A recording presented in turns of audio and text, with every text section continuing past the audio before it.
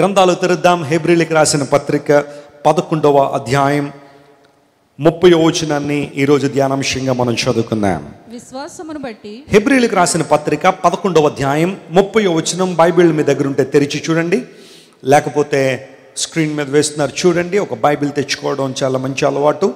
హెబ్రిలికి రాసిన పత్రిక the book of Hebrews chapter eleven and words thirty విశ్వాసమును బట్టి ఏడు దినముల వరకు ఏడు దినముల వరకు ప్రదక్షిణము చేయబడిన ప్రదక్షిణము చేయబడిన తర్వాత ఎరుకో గోడలు కూలెను. ఎరికో గోడలు కూలెను. విశ్వాసమును బట్టి చాలండి. ఈ మాట నాతో అందరూ చెప్పండి. ఎరికో గోడలు కూలెను. హలలుయ బైబిల్లో చాలా వీరోచితమైన వృత్తాంతాలు రాయబడ్డాయి. అవన్నీ కూడా వాస్తవంగా జరిగిన సంఘటనలే. కల్పితాలు కానీ కల్పిత కథలు కానీ బైబిల్లో ఒక్కటి కూడా లేదు. ఇదేదో తమకు ఊహకు వచ్చింది రాసేశారు ఇష్టానుసారం రాశారని చెప్పడానికి ఒక్క మాట కూడా బైబిల్లో లేదు. బైబిల్ రెండు విధానాల్లో రాయబడింది అందరూ జాగ్రత్త గమనించాలి. ఒకటి డివైన్ రెవల్యూషన్ దేవుని ప్రత్యక్షతల ద్వారా బైబిల్ రాయబడింది. రెండవది డివైన్ ఇన్స్పిరేషన్ పరిశుద్ధాత్మ ప్రేరణ ద్వారా బైబిల్ రాయబడింది. చారిత్రక అంశాలు కూడా బైబిల్లో పొందుపరచబడి ఉన్నాయి. దేవుణ్ణి అంగీకరించిన బిడ్డలు ఆయన నుండి ఎలాంటి అద్భుతాలు పొందుకున్నారో ఎలాంటి మేళ్ళను అనుభవించారో చాలా స్పష్టంగా బైబిల్లో రాయబడింది.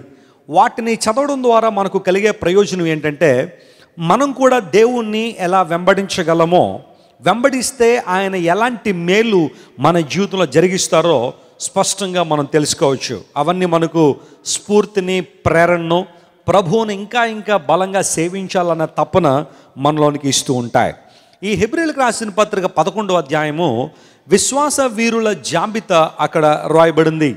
అపోసిన పౌలు పరిశుద్ధాత్మ ద్వారా ప్రేరేపించబడి విశ్వాసము ద్వారా ఎవరైతే దేవునికి దగ్గరగా బ్రతికారో విశ్వాసం ద్వారా ఎవరైతే దేవుని నుండి అద్భుతాలు పొందుకున్నారో చాలా క్లియర్గా రాసుకుంటూ వచ్చాడు. ఈ ముప్పై వచనం దగ్గరికి వచ్చేసరికి విశ్వాసమును బట్టి దేవుని ప్రజలు ఎరుకో గోడల చుట్టూ ప్రదక్షిణము చేయగా అనగా తిరుగగా ఎరుకో గోడలు కూలిపోయాయి అనే మాటను అక్కడ రాశాడు. వాస్తవానికి ఎరుకో సంఘటన జరిగిన సమయానికి పౌలు మహాశయుడి పత్రిక రాస్తున్న సమయానికి దగ్గర దగ్గరగా పదిహేను వందల సంవత్సరాల చరిత్ర మధ్యలో జరిగింది. అయినప్పటికీ కూడా ఈ విషయాలన్నీ కూడా ప్రజల మనసుల్లో నాటబడ్డం మాత్రమే కాకుండా దేవుని కార్యాలుగా ఆనాడు పౌలు గుర్తించాడు గనుక వాటన్నిటిని కూడా క్రోడీకరిస్తూ వస్తున్నాడు. బైబిల్లో ఒక మాట రాయబడింది మన దేవుడు ఆశ్చర్యకరుడు. హలలుయ ఆయన అద్భుతాలు చేయవాడు. ఆయన నమ్మిన వారిని దేవుడు ఎన్నడూ విడిచిపెట్టలేదు. ఆయన ఎందు విశ్వాసం ఉంచిన వారిని దేవుడు ఎన్నడూ కూడా అలక్ష్యం చేయలేదు. ఖచ్చితంగా వారి జీవితంలో మేలు చేయవాడే. ఈ రోజున ఎరుకో గోడలు కూలిపోయిన ఆ సంఘటనను కొన్ని విషయాలు మనం ధ్యానం చేద్దాం. దేవుని లేఖనానుసారంగా కొన్ని విషయాలు మీతో మాట్లాడాలని నేను కోరుతున్నాను.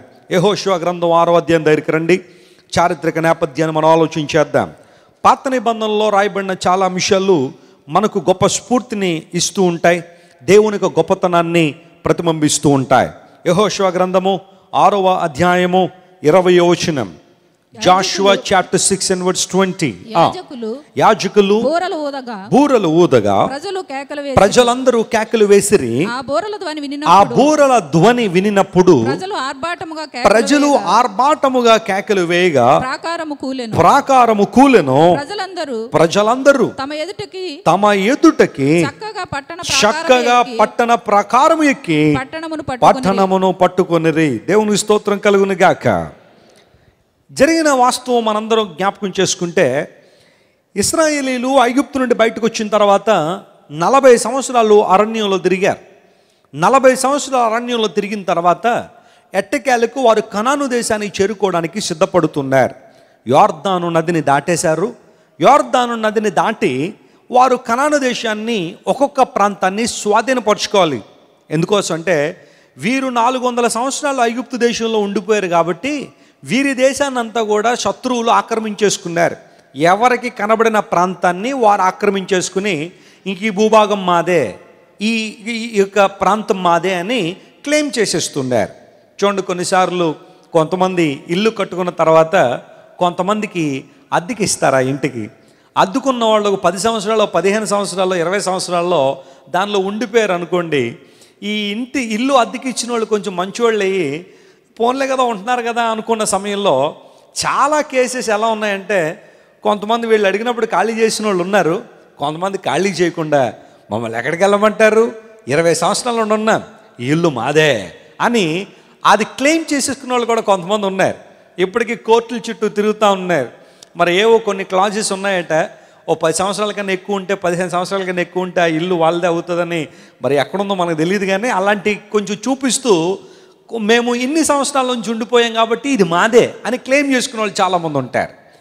పూర్వ దినాల్లో కొంతమంది శత్రువులు కూడా కనాను దేశంలో ఏడు రకాలైన జాతులు వారు దేశాన్ని అంతా ఆక్రమించేసుకుని ఈ ప్రాంతంలో మేము ఉంటాం ఆ ప్రాంతంలో మీరుండండి ఇస్రాయల్ ఇంక రానివ్వద్దు లోపలికి వాళ్ళని మన దేశానికి రానివ్వకూడదు ఇది మనది అని చెప్పి వాడు క్లెయిమ్ చేస్తున్నారు. వాస్తవానికి ఆ దేశము అబ్రహాము ఇస్సాకు యాకోబులకు వాగ్దానం చేయబడిన దేశం అది.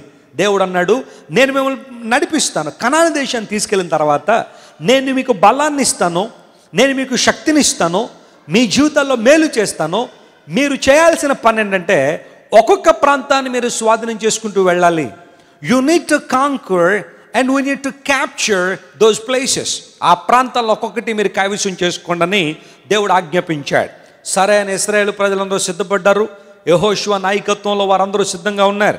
యహోశివ ఎప్పుడైతే నాయకుడిగా అభిషేకించబడ్డాడో మోషే తర్వాత పిలువబడ్డాడో దేవుడు ఒక వాగ్దానం చేశాడు. అదేంటో తెలుసా? యహోశివ నువ్వు ఎక్కడైతే విశ్వాసంతో అడుగు పెడతావో ఆ ప్రాంతాన్ని నీకు ఇస్తానన్నాడు. దేవుడు నా మన స్తోత్రం కలుగును గాక. Wherever you step in నువ్వు ఎక్కడైతే అడుగు వేస్తావో ఎక్కడైతే నీ పాదం మోపుతావో ఆ ప్రాంతం నీదే. నేను మోషేకు తోడయ్యుండునట్లు నీకు కూడా ఎలా ఉంటానో? తోడుగా ఉంటాను. ఎప్పుడో తెలుసా? మోషే లాంటి భక్తి నీలో ఉన్నప్పుడు అతనిలో ఉన్న తెగింపు నీలో ఉన్నప్పుడు విజ్ఞాపన ఆత్మ నీలో ఉన్నప్పుడు మోషేలో ఉన్న భక్తి నీలో ఉన్నప్పుడు నీ నేను కూడా నీకు తోడై ఉంటానని దేవుడు వాగ్దానం చేశాడు. చాలా సందర్భాల్లో దేవుడు కొంతమంది భక్తులను దేవుని వాక్యములో ప్రియులరా ఆయన మన మన ముందు మాదిరిగా ఉంచుతూ నేను వారికి ఎలా తోడుగా ఉన్నానో మీకు కూడా అలాగే తోడుగా ఉంటానని దేవుడు వాగ్దానం చేశాడు. యెహోషువకు వాగ్దానం ఇచ్చాడు. నేను మోషేకు తోడైనట్లు నీకు తోడై ఉంటా. మనందరికీ దేవుడు వాగ్దానం చేస్తున్నాడు. నేను దావీదుకు తోడైనట్లు నేను మీకు కూడా ఎలా ఉంటాను? తోడుగా ఉంటాను. ఎందుకోసం అంటే ఏ దేవుణ్ణైతే మోషే ఆరాధన చేశాడో ఏ దేవుణ్ణైతే దావీదు ఆరాధన చేశాడో అదే దేవుడు నేటికి మన మధ్య సజీవంగా ఉన్నాడు. దేవుడు నా మన స్తోత్రం కలుగును ఆయన కనుమరుగైపోలే. ఆయన ఎక్కడో దాక్కునేవాడు కాదు. ఆయన ఆనాటి సమయంలో ఎలాంటి మేళ్ళైతే తన ప్రజల పట్ల చేశాడో ఇంకో మాటలు చెప్పాలంటే అంతకన్నా ఎక్కువగా దేవుడు మన పట్ల మేలు చేయడానికి ఇష్టపడుతున్నాడు. అంతకన్నా ఎక్కువగా ఆయన మన పట్ల కృప చూపిస్తున్నాడు. నువ్వు పాదం పెట్టు విశ్వాసంతో ఆ స్థలాన్ని నీకు ఇస్తానన్నాడు. అయితే ఇక్కడ విచిత్రం ఏంటో తెలుసా?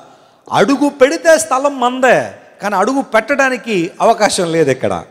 యహోశివ సిద్ధపడుతున్నాడు. అయ్యా కనాను దేశంలోకి వచ్చాం. మొట్టమొదటి ప్రాంతం ఎరుకో అనే ప్రాంతం. దానిలో కనానీయులు నివసించేవారు. అందును బట్టి ఈ ప్రాంతాన్ని మేము కైవసం చేసుకోవాలంటే ప్రాకారం చాలా పెద్దగా కనబడుతుంది ప్రభువా. ఎరుకో ప్రాకారాల మీద రీసెర్చ్ జరిగింది.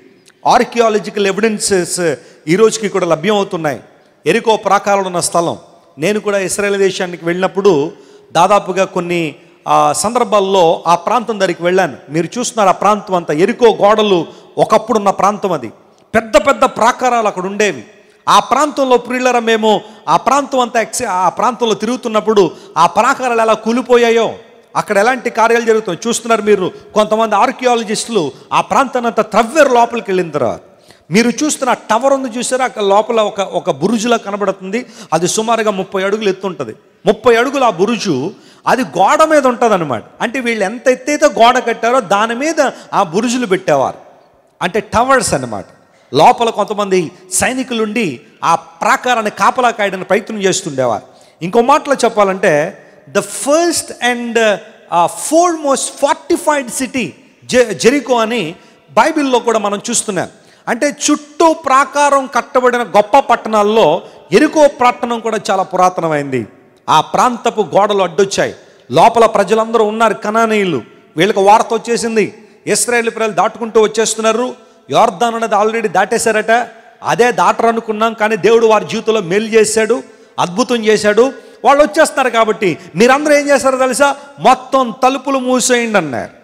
ఎరుకో ప్రాకారపు తలుపులన్నీ మూసేసేయండి అనగానే బైబిల్లో రాయబడింది ఎవడునో బయటికి వెళ్ళకుండా బయటనున్నవాడు లోపలికి రాకుండా ఎరుకో ప్రాకారపు తలుపులు గట్టిగా వేశారు. మనం కూడా మన ఇంటి తలుపులు గట్టిగా వేస్తాం. ఎప్పుడు చెప్పండి? ఎప్పుడప్పుడు గట్టిగా వేస్తాం తలుపులు? పెద్ద పూలు తిరుగుతుంది అన్నారు అనుకోండి మన ఏరియాలో. అప్పుడు తలుపులు గట్టిగా వేసి కూర్చుంటాం. అరే టేబుల్ అడ్డు పెట్టరా? ఒకవేళ అది గంటుకు లోపలికి వచ్చేస్తే రాకుండా టేబుల్ అడ్డు పెట్టని చెప్పి టేబుల్ అడ్డు పెడదు దొంగలు తిరుగుతున్నారు. ఈ రోజుల్లో చెడ్డీ గ్యాంగ్ తిరుగుతున్నారు భయంకరంగా. హైదరాబాద్ పరిసర ప్రాంతాల్లో అందరూ తలుపులు గట్టిగా వేస్తూ ఉన్నారు. రెండు మూడు తాళాలు కూడా వేసుకుంటున్నారు. ఎందుకోసం అంటే ఎక్కడెక్కడి నుంచో బీహార్ ఉత్తరప్రదేశ్ నుండి కొంతమంది దొంగలు దిగారు.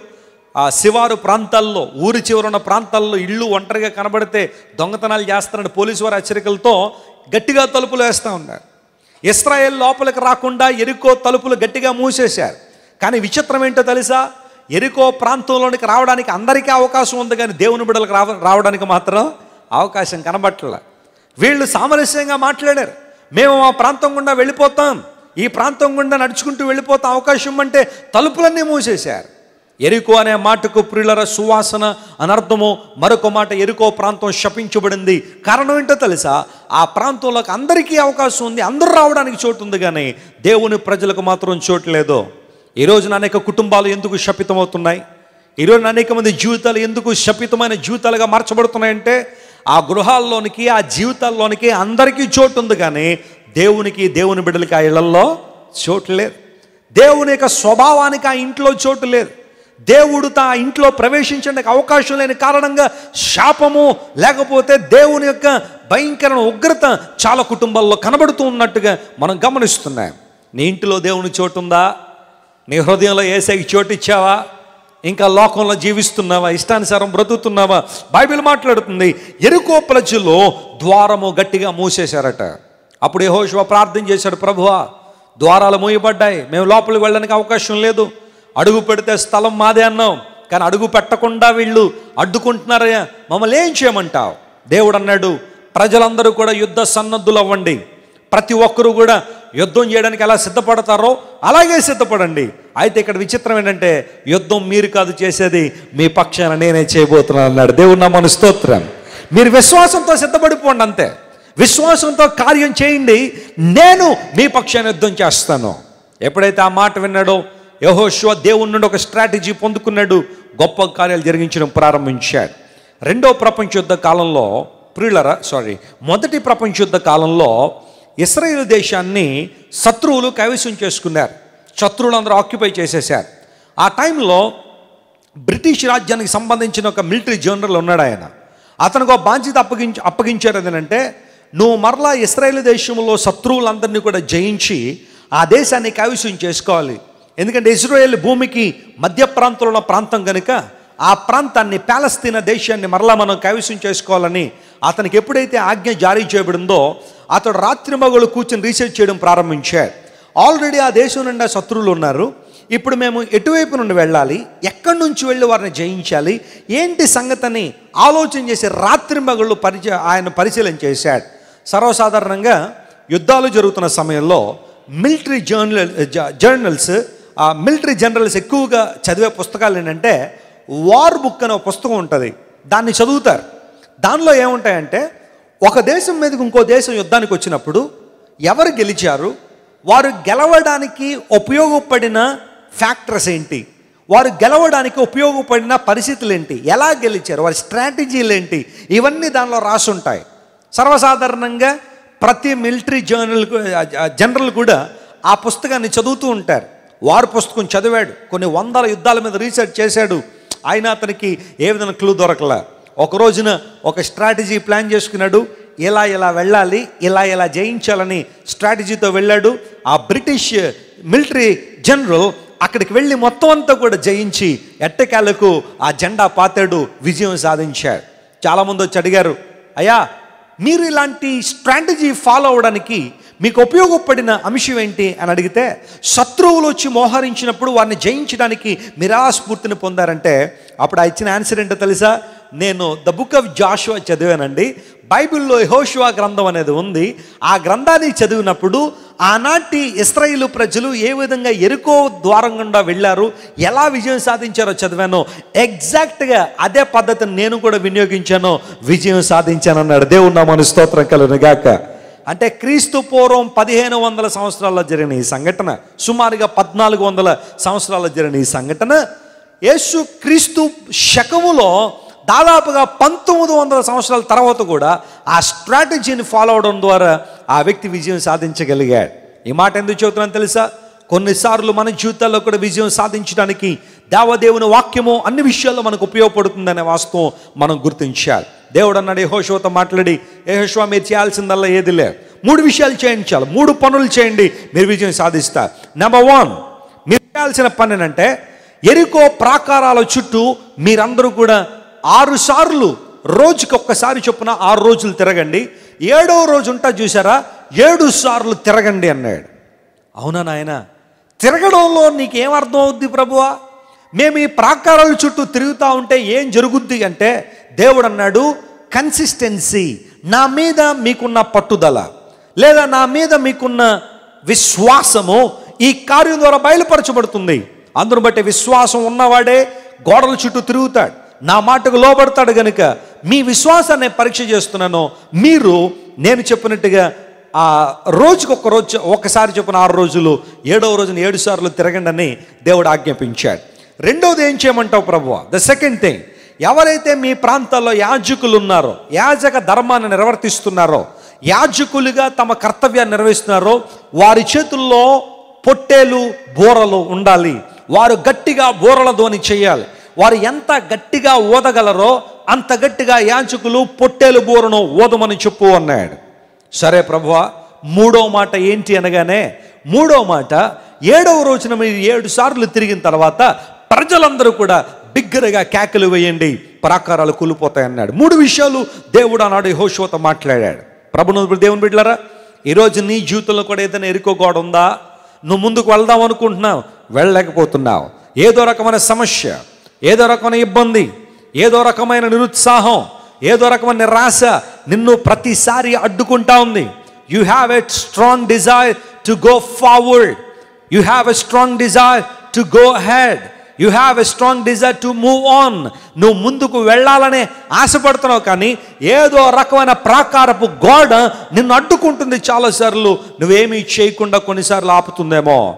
దేవుని సేవకునిగా ప్రకటిస్తున్నాను. ఆనాడు ఇస్రాయేల్ ప్రజలు చేపట్టని మూడు కార్యాలు నువ్వు కూడా చేపట్టగలిగితే ప్రభు ఈరోజు నీ జీవితంలో మేలు చేయబోతున్నాడు. నీ ముందున్న ప్రాకారాన్ని పడగొట్టి నీ జీవితంలో అద్భుతం చేయబోతున్నాడు. ఇక్కడ మాట మీకు చెబుతాను ప్రియులరా. దేవుడు ఇస్రాయేల్ పట్ల ఎంత గొప్ప మేలు చేశాడంటే సాతానుడు సాతానుడు ద్వారాలు మూశాడు. దేవుడు ప్రాకారాలు పడగొట్టాడు. నమ్మిన వారు గట్టిగా చెప్పులు కొట్టి ఏ సమయం పరిచయం? అపవాది చేసిన పని ఏంటో తెలుసా? ద్వారాలు మూశాడు కానీ దేవుడు చేసిన పని ఏంటో తెలుసా? ఆ ద్వారాల చుట్టూ ఉన్న ప్రాకారాన్ని ఏం చేశాడు ఆయన? పడగొట్టాడు. ఎఫ్ఎసి మూడు ఇరవైలో రాయబడింది మీరు అడుగు వాటన్నిటికంటేనో చెప్పండి ఊహించు వాటన్నిటికంటేనో అత్యధికముగా చేయగల శక్తి గల దేవుడు. సాతానుడు కొన్నిసార్లు నీ జీవితంలో ద్వారాలు మూసేస్తున్నాడా? కంగారు పడొద్దు నిరుత్సాహపడొద్దు. అధైర్యపడద్దు దుఃఖపడద్దు. బైబిల్ సెలవిస్తున్న మాట దేవుడు ప్రాకారాన్ని పడగొట్టే సామర్థ్యం కలిగిన వాడు నువ్వు అడుగుతున్న వాటికన్నా అత్యధికంగా దేవుడు చేయడానికి ఆయన సామర్థ్యం కలిగిన వాడని బైబిల్ నిర్ద్వందంగా సెలవిస్తూ ఉంది. వెళ్ళు యహోషువ ప్రజలకు చెప్పు. ఈ మూడు పనులు చేయమని చెప్పనగానే యహోషువ వచ్చాడు. ప్రజలారా దేవుడు ఒక స్ట్రాటజీ ఇచ్చాడు. మళ్ళందరినీ పనులు చేయమన్నాడు. విజయం సాధిస్తాం. నెంబర్ వన్ ప్రజలందరూ కూడా విశ్వాసంతో గోడల చుట్టూ తిరగండి. విశ్వాసం కోల్పోవద్దు. అదే విషయాన్ని అపోసిన పౌలు మాట్లాడాడు. విశ్వాసం బట్టి దేవుని ప్రజలు గోడల చుట్టూ ప్రదక్షిణము చేయగా ఆ ఎరుక గోడలు ఏమైపోయినాయి? కూలిపోయాయి. విశ్వాసం లేకుండా తిరుగుంటే పరిస్థితి ఎలా ఉండదో మనకు తెలియదు కానీ దే డిడ్ విత్ ఫెయిత్ వారి విశ్వాసంతో ఆ కార్యం జరిగించారు. ప్రియ దేవుని బిడ్డ నువ్వు ఏ పని చేసినా దేవుని కోసం ఏ కార్యం చేసినా దేవుని కోసం ఏ పని నువ్వు చేయాలని ఆశపడుతున్నా దేవుని సేవకునిగా తెలియచేస్తున్నానో ఆ పనిని విశ్వాసంతో చేయి విశ్వాసంతో ఆ పనిని చేపట్టు. విశ్వాసంతో ఆ కార్యాన్ని నెరవేర్చు. ఖచ్చితంగా నీ జీవితంలో విజయాన్ని చూస్తావు. చాలామంది కార్యాలు అయితే చేస్తున్నారు కానీ విశ్వాసంతో చేయలేకపోతున్నారు. కార్యం అయితే చాలామంది చేస్తున్నారు కానీ దేవుడు అంటే చాలామందికి ఏమీ లేదు చెప్పండి. విశ్వాసం లేదు. ఒకసారి అందరూ ఒక చోట కూర్చొని ప్రార్థన చేస్తున్నారట. ప్రార్థన చేయడానికి పిలుపు. వర్షాలు పడడం లేదు ల్యాండ్ అంతా డ్రై అయిపోయింది ఎండిపోయిన నేల పంటలు పంటలు లేదు. వర్షాలు పడేలా ప్రార్థన చేద్దాం రండి అని పాస్టర్ గారు పిలిపేవుగానే అందరూ వచ్చారట మీటింగ్కి చర్చ్ అంతా నిండిపోయింది ప్రజలందరూ కూడా మీటింగ్కి వచ్చారు ప్రార్థన చేయడానికి. ప్రభువా వర్షాలు కురిపించిన ప్రార్థన చేయడానికి అందరూ కూడా ప్రార్థన చేయడానికి వస్తే ఒక యవనుస్త్రాలు వచ్చేటప్పుడు గొడుగు తెచ్చుకుందట. వచ్చేటప్పుడు ఏం తెచ్చుకుంది? గొడుగు తెచ్చుకుంది. అప్పుడు ఎవరో ఒక ఆయన అడిగారు ఏమ్మా గొడుగు తెచ్చుకున్నావేంటి? వర్షాలు ఏం లేవు కదా ఎండగా ఉంది కదా గొడుగు ఎందుకు తెచ్చుకున్నావు? అని అడిగాడట. అప్పుడు అమ్మ ఇచ్చిన ఆన్సర్ ఏంటో తెలుసా? సార్ ఇప్పుడు మనం దేనికోసం ప్రార్థన చేయబోతున్నాం? మనందరం గుండెలు బాదుకొని దేవుని సన్నిలో వర్షాల కోసం ప్రార్థన చేయడానికి వచ్చేటప్పుడు ఈ మాత్రం విశ్వాసం ఉండొద్దండి మనకి? ఈ మాత్రం విశ్వాసం కూడా ఉండద్దా? ఎప్పుడైతే ఆ అమ్మాయి ఆ మాట చెప్పిందో చాలా సిగ్గుపడ్డాడట ఆయన. చాలాసార్లు మనం పనులు చేస్తాం కానీ చెప్పండి విశ్వాసంతో చేయం విశ్వాసంతో మీరు ప్రార్థన చేస్తే ఈ కొండ వెళ్ళి సముద్రంలో పడుంటే పడుద్ది అని దేవుని సేవకుడు వాక్యం చెబితే ఒక ఆమె ఇంటికి వెళ్ళి ప్రార్థన చేయడం ప్రారంభించిందంట. ఆ ఇంటి ముందు పెద్ద కొండ ఉందంట. సూర్యరశ్మి రాక ఇల్లంతా చీకటిగా ఉంటుంది ప్రతిసారి. ఆ కొండ పోతే బాగుండు పోతే బాగుండు అని ప్రార్థన చేస్తుంది. ఒకరోజు ఉదయాన్నే నాలుగు గంటలకి చక్కగా తలస్నానం చేసి దేవుని అసలు ఉపవాస ప్రార్థన చాటించి ఉదయం నుండి మధ్యాహ్నం దాకా ప్రార్థన చేద్దాం అనుకుంది. అరగంటకు అరగంటకు వచ్చి చూస్తుంది కొండ వెళ్ళిందా లేదా అని మొత్తం ప్రార్థన అంతా అయిపోయిన తర్వాత చేతులు దులుపుకుని అందంట. నాకు ముందే తెలిసి ఇది పోదని అందంట. ఈవిడికి ముందే తెలిసట ఏమని? పోదని. చాలాసార్లు మన ప్రార్థన కూడా అలా ఉంటుంది కదా. నాకు ముందే తెలుసండి అయినా ఏదో ఓ ట్రైల్ వేద్దామని. అయినా పాస్టర్ గారు ఏదో అడిగారని. అయినా నా భార్య రమ్మందని. అయినా నా భర్త రమ్మన్నాడని ఏదో ట్రై చేశాను కానీ నాకు ముందే తెలుసండి. అది కాదు విశ్వాసం. అడుగుతున్నవన్నీ పొంది ఉన్నామని ఏం చేయమన్నాడు? నమ్మండి.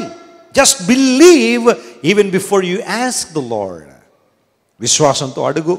దేవుని సన్నిలో కార్యం జరిగించు. అద్భుతం నీ జీవితంలో దేవుడు చేస్తాడని నమ్ము. విశ్వాసముతో కార్యం. దేవుని మందిరానికి వస్తున్నావా? విశ్వాసంతో రా. సణుక్కుంటూ రావద్దు. ఎవరినో సంతృప్తిపరచాలని రావద్దు. భార్యనో భర్తనో పిల్లలనో ఇరుగు పొరుగు వారినో లేకపోతే ఆఫీసర్నో సంతోషపరచాలని రావద్దు. జాన్ వెస్లీ గారిని సంతోషపడదామని రావద్దు ఖచ్చితంగా. నువ్వు వచ్చే దేనికోసం తెలుసా? విశ్వాసంతో రా. ఆదివారం దేవుని మందిరానికి వెళ్ళేది నేను నా హృదయాన్ని తెరిచి ప్రభువుని ఆరాధించడానికి. Hallelujah I don't care whether people come or not I don't care what people think about me ఆదివారం దేవుని మందిరాలకు వెళ్ళి కూర్చోవడం ద్వారా ప్రజలు నా గురించి ఏమనుకున్నా పర్వాలేదు. నా ఇరువు పొరుగు నా గురించి ఏమనుకున్నా పర్వాలేదు. నా బంధువుల నా గురించి ఏమనుకున్నా పర్వాలేదు. మందిరానికి ఎవరు వచ్చినా రాకపోయినా నేను మాత్రం వెళ్తాను దేవుని మందిరంలో కనబడతాను. విశ్వాసంతో చేయి. కృతజ్ఞతార్పణలు చెల్లించుచు యహోవా మందిరములోనికి ప్రవేశించండి. Enter in the gates of the Lord with thanksgiving దేవుని గుమ్మాల్లోనికి దేవునికి ఆవరణములోనికి ఎలా రావాలట మనం? నీరసంగా ఏదో పోగొట్టుకున్నట్టు రాకూడదాడు దేవుని వందనానికి. ఎలా రావాలి? కృతజ్ఞత అర్పణ. షౌట్స్ ఆఫ్ జాయ్ సంతోషంతో. మనల్ని చూడగానే పది మందికి ఆదరణ కలగాలి మనల్ని చూడగానే పది మందికి ఉత్సాహం రావాలి. అంతేగాని మనల్ని చూడగానే ఉన్న పది మందికి నీరసం వచ్చేయకూడదు కదా? కొంతమంది చూడగానే ఇక ప్రక్కోళ్ళు అప్పటిదాకా ఎంత ఎనర్జెటిక్గా దేవుని ఆరాధన వచ్చిన వాళ్ళు మన సహోదరిని చూడగానే వాళ్ళు కూడా ఏమైపోతున్నారు? చల్లబడిపోతారు. అలా కాదు నువ్వు చేయాల్సింది. విశ్వాసంతో రా ప్రార్థన చేస్తున్నావా? విశ్వాసంతో చేయి. దేవునికి కానుక వేస్తున్నావా? విశ్వాసంతో వేయి. ప్రభు ఈ కానుక నీ పరిచయం కోసం వాడండి. నీ రాజ్య విస్తరణ కోసం వినియోగించండి. నీవు నాకు ఇచ్చావు గనుక దానిలో కొంత భాగాన్ని నీకు ఇస్తున్నా ప్రభు అని విశ్వాసంతో వేయి. కానుకేదో. పాటలు పాడుతున్న విశ్వాసంతో పాడు. వాయిద్యాలు వాయిస్తే విశ్వాసంతో ఆ వాయిద్యాలు వాయించడం. ఒకళ్ళు వాలంటీర్ జరుగుతున్న విశ్వాసం ఏ పని చేసినా దేవుని కోసం నువ్వు ఎలా చేయాలి? విశ్వాసం. దేవుడు అదే చూస్తున్నాడు. నా ప్రజలకు నా మీద విశ్వాసం ఉందో లేదో నా ప్రజలు నా మాటకు లోబడతారో లేదో ఫెయిత్ అనగా complete obedience to the word of God దేవుని వాక్యానికి సంపూర్ణ విధేయతే విశ్వాసము. దేవుని స్తోత్రం చెప్పండి హలలుయ అనగా దేవుని మాటకు సంపూర్ణంగా లోబడ్డమే. ఇంక మళ్ళీ అటు ఇటు క్వశ్చన్ చేయడం కాదు. అది అలా జరుగుద్దండి ఇది ఎలా జరుగుద్దండి ఇలా జరగదేమో కదండి. ఇలా మానవ జ్ఞానాన్ని దానిలో చొప్పించడం కాదు. దేవుడు ఏదైతే చెప్పాడో అది చేయడమే దేవుని యొక్క చిత్తము ఆయన యొక్క అభిలాష. ప్రజలందరికీ చెప్పు. ఎంతవరకు అరణ్యంలో తిరిగారు తిరిగారు కానీ ఇప్పుడు ఒక అద్భుతం జరగబోతుంది కనుక ప్రాకారం చుట్టూ తిరగమనం రోజుకొకసారి. ఎరుకో గోడ ఒక్కసారి తిరగాలంటే ఎనిమిది కిలోమీటర్ నడవాలట. చెప్పండి ఎన్ని కిలోమీటర్లు? ఇక్కడ ఎవరైనా ఎనిమిది కిలోమీటర్లు నడిచి వచ్చిన వాళ్ళు ఉన్నారా దేవుని మందిరానికి? ఎయిట్ కిలోమీటర్స్ నడిచి. నాకు తెలిసి ఒక నాలుగు కిలోమీటర్లు నడిచి వచ్చేవాళ్ళు ఉన్నారు మన చర్చికి. కొంతమంది సహోదరులు కొంతమూరు నుండి కూడా నడుచుకొచ్చేస్తారు మన మందిరానికి. మూడు మూడు లేదా నాలుగు కిలోమీటర్లు ఉంటాయి. ఎనిమిది కిలోమీటర్లు దేవుని కోసం నడవాలంటే ఈ రోజుల్లో నడవగలమా? ఇస్రాయేల్ ప్రజలందరూ ఉదయాన్నే లేచారు ఒక రోజు తిరిగేశారు రెండో రోజు తిరిగారు. ఎవరో మీలాంటి వాళ్ళు అడిగారు అరే ఒకసారి గోడలను పరిశీలన చేయండిరా రెండు రోజులు తిరిగాం కదా. ఏమన్నా కొంచెం అక్కడక్కడ బద్దలైన ఏమో చూడండి. ఎందుకంటే దేవుడు ప్రాకారాలు కోల్తానని ఆ ఏడు రోజులు తిరగమన్నాడు కదా. ఒకసారి చూడండి. ఒకవేళ ఏమన్నా అక్కడక్కడ చిన్న చిన్న బీటలు వస్తే మనం చేస్తున్న పని ఏదో ఫలిస్తుంది ఏం పర్వాలేదు అనే ధైర్యం మనకు వస్తుందని చూడగానే ఏమీ లే అలాగే ఉన్నాయి. ఆ ముందు ఎలా ఉందో అలాగే ఉన్నాయి గోడలు. ఆరు రోజులు తిరిగారు అలాగే ఉన్నాయి. కొంతమందికి విశ్వాసం సరిపోవట్లేదు. ఏడో రోజున ఇప్పుడు ఎన్నిసార్లు తిరగాలి? ఏడు సార్లు తిరగాలి. ఏడు సార్లు అంటే యాభై ఆరు కిలోమీటర్లు నడవాలి. యహోషు అన్నాడు బాబు రేపొద్దున మీరు తెల్లవారుజామున లేవాలి. ఎర్లీ మార్నింగ్ లేవండి. అందరం కూడా విశ్వాసాన్ని రుజువు చేసుకునే సమయం. ఏడు సార్లు తిరగాలి కాబట్టి మీరు మీ భార్యలు పిల్లలు అందరూ తిరగాలి. అందరూ బట్టి పెందల కడలు లేవండంటే పెందల కడ లేచారు. అందరూ యుద్ధ సన్నద్ధులై తిరగడం ప్రారంభించారు. ఒకటి రెండు మూడు నాలుగు ఐదు ఆరు ఏడు సార్లు దేవుడు ఎన్నిసార్లు అయితే తిరగమన్నారో అన్నిసార్లు విశ్వాసంతో తిరిగేశారు. దేవుడు నా మన స్తోత్రం కలుగును గాక అందులో అసోప అసంపూర్ణంగా ఒక్కసారైనా కౌంట్ తప్పు ఉంటే కార్యం జరిగి ఉండేదే లేదు నాకైతే తెలియదు కానీ దేవుడు చెప్పిన మాటను తూచా తప్పకుండా వాళ్ళు ఏం చేశారు? పాటించారు. నా ప్రియ సహోదరి నీ ముందు ఎరుకో గోడలుంటే వాటి నుండి విడుదల పొందాలన్నప్పుడు సమస్య నుండి విడుదల పొందాలన్నప్పుడు దేవుడు చెప్పిన మాట ప్రకారం whatever the Lord says దేవుడు ఏదైతే చెప్పాడో ఆ కార్యాన్ని నెరవేర్చో. దేవుని కార్యాలు మనం మనం చూడాలంటే అద్భుతాలు ప్రియులరా. బ్లెస్సీ వెస్లీ గారు మా వివాహం జరగకముందు అమెరికాలో జాబ్ చేసేవారు మీలో చాలామంది తెలుసు. అయితే జాబ్ చేసిన తర్వాత నేను చెప్పాను అమ్మ మరి పెళ్ళైన తర్వాత నువ్వు ఒక్కరోజు కూడా జాబ్ చేయడానికిలే. ఒక్కరోజు కూడా. ఆఫీస్ పంపడానికి ఇష్టపడి నేను. పెళ్ళైన మరుక్షణం నుంచే దేవుని సేవలో మనం ఉండాలి. అని చెప్పగానే సరే అని చెప్పి యుఎస్ నుండి ఇండియా వచ్చేశారు. వచ్చిన తర్వాత టీసీఎస్లో ఆమె వర్క్ చేస్తున్నప్పుడు ఇప్పుడు ఆ జాబ్ రిజైన్ చేయాలి. రిజైన్ చేయాలి అంటే టీసీఎస్ వాళ్ళ నామ్స్ ప్రకారం రూల్స్ అండ్ రెగ్యులేషన్స్ ప్రకారం ముందు మూడు నెలలు కనీసం మూడు నెలల ముందు చెప్పాలి జాబ్ మానేస్తున్నానని. అలా కాని పక్షంలో వెంటనే మానేయాలనుకుంటే ఐదు లక్షల రూపాయలు కట్టాలి వాళ్ళకి. అంటే వాళ్ళు మనకే ఇవ్వడం కాదు జీతం మనం వాళ్ళకి కట్టాలి. ఐదు లక్షలు కట్టేసి నేను ఇక రేపటి నుండి రానని చెప్పాలి. జాబ్ మానేయడానికి ఐదు లక్షలు కట్టాలి. లేదంటే మూడు నెలలు వెయిట్ చేయాలి. వెళ్ళ వెళ్ళిన తర్వాత కనుక్కుంటే ఇదే చెప్పారు.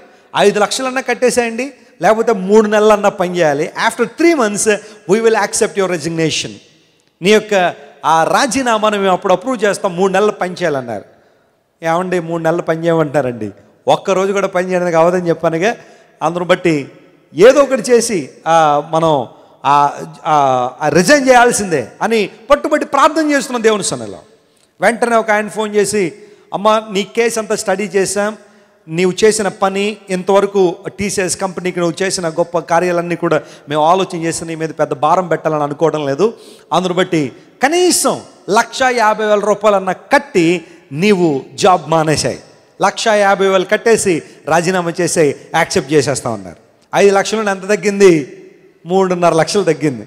సరే ఈ లోపల పురులరా నేను విశ్వాసంతోనే ఉన్నాను. దేవుని ధనం ఒక్క పైసా కూడా రావడానికి వీల్లేదు అని టీసీఎస్ కంపెనీలోకి జాబ్ రిజైన్ చేయడానికి పంపించేటప్పుడు నేను కూడా వెళ్ళాను కారులో. నన్ను లోపలికి రానివ్వరు కదా బయట కారులో కూర్చున్నా. వెళ్ళేటప్పుడు తలమి చేసి ప్రార్థన చేశాను. ప్రభా కుమార్తె లోపలికి వెళ్తుంది. లక్ష యాభై రూపాయలు కట్టమంటున్నారు. అయ్యా అది నీ ధనం నీ సేవ నీ సేవకు సంబంధించిన ధనం. ఆ ధనం ఒకవేళ అంటే నా డబ్బులు కాదు తన డబ్బులే అప్పుడు తను ఆల్రెడీ అంతకుముందు సంపాదించిన డబ్బులు ఉన్నాయి కదా అవే పట్టుకుని వెళ్ళాలని అనుకుంది. వాళ్ళు ఏమంటారు లోపల చూద్దాం. అయితే ప్రార్థన చేశాను ప్రభు ఈ ధనం కనుక నీవు రిలీజ్ చేయగలిగితే నీ ఈ ధనాన్ని నీ సేవలో ఉపయోగిస్తాను. అద్భుతం చేపురం అని ప్రార్థన చేసిన విశ్వాసంతో. లోపలికి వెళ్ళింది. ఒక నలభై నిమిషాలు లోపల ఉంది. వెంటనే ముగ్గురు సంతకాలు చేయాలి. ఒకరి తర్వాత ఒకళ్ళు ముగ్గురు ఆఫీసర్లు సంతకం చేయాలి. ఆ సంతకాలు పెట్టడానికి ముందుగా ఏం అక్కడ కూర్చుంటే ఆల్రెడీ తెలిసిన ఒక ఆఫీసర్ ఎవరు వచ్చారు. ఏమా బ్లెస్ ఎలా వచ్చావు? సార్ నేను రెజిగ్నేషన్ ఇవ్వడానికి వచ్చానండి. ఆ, అందుని చెప్పి నా రెజిగ్నేషన్ మీరు యాక్సెప్ట్ చేయాలని అంటే ఆయన చూశాడు. ఏంటమ్మా ఏం చెప్పారు? లక్ష యాభై కట్టమన్నారండి. అవునా? ఒకసారి ఇలాగి అని చెప్పి ఆయన లోపల తీసుకెళ్ళి ముగ్గురుతో సంతకాలు పెట్టించేసి నీ రాజీనామా యాక్సెప్ట్ చేసామమ్మా రూపాయి కూడా కట్టక్కర్లేదు హ్యాపీగా వెళ్ళిపోన్నారు దేవుడు నా మన స్తోత్ర కలునిగా గంతులు వేసుకుంటూ వచ్చింది బయటికి. ఏంటి? దేవుడు మన ప్రార్థన విన్నాడు ఆశీర్వదించాడు గొప్ప కార్యాలు. నేను చెప్పాను నెక్స్ట్ సండే ఆ డబ్బులు తీసుకెళ్ళి దేవుని మందులు వేసాయి. దేవుని పరిచర్య కోసం. పురులరా ఎందుకు మాట చెప్పాను తెలుసా? దేవుని సన్నిధిలో విశ్వాసంతో మనం ప్రార్థన చేసినప్పుడు విశ్వాసంతో మనం దేవుని సన్నిధిలో ఒక నిబంధనలోనికి ఒక ఒడంబడిలో మనం రాగలిగితే దేవుడు ఖచ్చితంగా మన జీవితంలో ఏం చేస్తాడు ఆయన? మేలు చేస్తాడు. తిరగండి మీ విశ్వాసాన్ని రుజువు చేసుకోండి. క్రైస్తవ జీవితం విశ్వాసపు యాత్ర. అనుక్షణము విశ్వాసంతో ముందుకు సాగిపోవడమే. దేవుని మీద విశ్వాసంతో మనం ముందుకు సాగిపోతున్నప్పుడు ఆయన కార్యాలు స్పష్టమైన విధానాలు మన జీవితంలో జరుగుతూ ఉంటాయి. అందును బట్టే ఒక దేవుని సేవకుడు ఏమనంటే విశ్వాసము అనేది మన జీవితాల్లో కార్యాలు జరిగించే దైవిక సాధనం అన్నాడు. It's an instrument that will really help us విశ్వాసం బట్టి తిరగండి. ఇస్రాయల్ గుంపులో మనం ఉండుంటే తిరుగుదామా లేకపోతే కూర్చుందామా పక్కన?